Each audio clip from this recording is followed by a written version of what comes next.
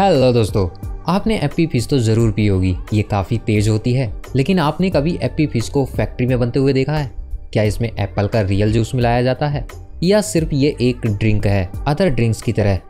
इन्हीं सवालों के जवाब आप इस वीडियो में देखेंगे। तो चलिए वीडियो को शुरू करते हैं।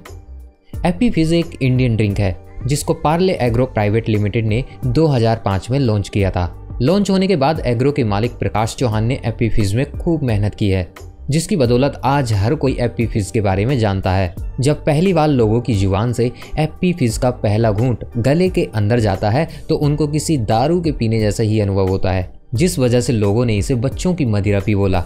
लेकिन क्या बाकी इसमें मदिरा मिली होती है, यानी शराब मिली होती है? ये तो हमें तभी पता चलेगा जब हम इसकी मैन्युफैक्चरिंग प्रोसेस देखेंगे।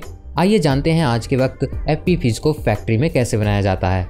सबसे पहले हाई क्वालिटी के एप्पल्स को बड़े बड़े ट्रक में लादकर इन फैक्ट्रीज में अनलोड किया जाता है। ये एप्पल्स कन्वेयर बेल्ट से गुजरते हुए इंस्पेक्शन सेक्शन तक पहुँचते हैं। इन एप्पल से जूस बनाने के लिए सबसे पहले इन्हें पानी से अच्छी तरह धोया जाता है। इसमें लगातार कन्वेयर बेल्ट से एप्पल्स को पानी से गुजारा जाता है, ताकि इसमें जो भी कंकड़ पत्थर गलती से रह गए हों, उन्हें अलग किया जा सके। यहाँ से निकलने के बाद इन्हें ठंडे पानी से फिर से एक और बार धोया जाता है। अब इन सभी एप्पल्स को ग्राइंडर में डाल दिया जाता है।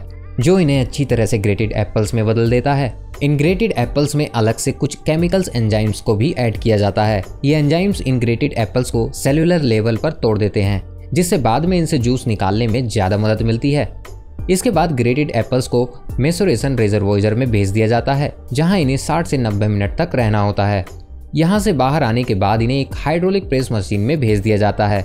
जहाँ फाइनली इनसे जूस निकाला जाता है। इस हाइड्रोलिक प्रेस मशीन में कुछ इस तरह के फिल्टर्स लगे होते हैं कि एक तरफ़ से जूस निकलता है और दूसरी तरफ़ से इसका बाकी वेस्ट जैसे कि बीज और छिलके, सब मशीन की दूसरी तरफ़ से बाहर आते हैं। यहाँ पर इस जूस का कुछ सैंपल क्वालिटी के लिए टेस्ट किया जाता है और जैसे ही यहाँ से इसे क्लीन चिट मिल जाती है, इसे आगे भेजा जाता है। अगले स्टेप में इस जूस को पहली बार फ़िल्टर किया जाता है और इसमें बच गए सॉलिड पार्टिकल्स को अलग कर दिया जाता है। यहाँ से फ़िल्टर होने के बाद इस जूस को पास्चुराइजेशन के लिए आगे भेज दिया जाता है। यहाँ इस जूस को 22 डिग्री सेल्सियस के तापमान से 88 डिग्री सेल्सियस तक ले जाया जाता है और फिर एकदम ठंडा करके वापस 50 डिग्री सेल्सियस तक लाया जाता है। इससे जूस में मौजूद सभी इम्प्योरिटीज मिट जाती हैं और साथ ही जूस को अब ज़्यादा वक्त तक स्टोर भी किया जा सकता है। अब हमारा एप्पल जूस लगभग तैयार है। यहाँ से निकलकर इस जूस को फ्लेवर कलर क्लैरिटी और नेचुरल फ्रूट शुगर कंटेंट के लिए चेक किया जाता है। एप्पल जूस लगातार अक्टूबर के महीने में ही बनाया जाता है, क्योंकि उसी वक्त आपको सेब देखने को मिलते हैं। इसलिए ये ज़रूरी है कि साल भर सप्लाई जारी रखने के लिए ये जूस कहीं स्टोर करके रख दिया जाए। इसके लिए बड़े कंटेनर में इस जूस को स्टोर करके रख दिया जाता है। हर एक कंटेनर में हज़ार से 1100 लीटर तक जूस स्टोर किया जा सकता है। जब आपने अपनी फ़ीस पी होगी तो आपके गले को दारू की तरह फ़ीस ने चंद सेकेंडों के लिए जकड़ लिया होगा। उसी टेस्ट को यहाँ इस मशीन में बनाया जाता है। जिसके लिए इसमें वाटर शुगर यानी चीनी एप्पल जूस जो कि 12 से 18 परसेंट होता है, और एप्पी फिज का टेस्ट देने के लिए इसमें कार्बन डाइऑक्साइड साथ ही कुछ अदर कंपोनेंट्स को भी यहीं पर ऐड किया जाता है।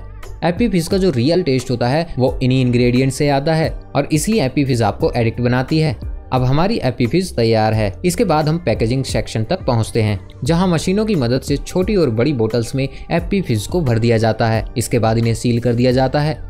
अब एप्पी फिज आपके पीने के लिए पूरी तरह से तैयार है। दोस्तों, ये थी आज की वीडियो। एप्पी फिज को फैक्ट्री में कैसे बनाया जाता है? आपको एप्पी फिज कैसी लगती है? हमें कमेंट करके ज़रूर बताएँ। वीडियो को लाइक शेयर करना न भूलें।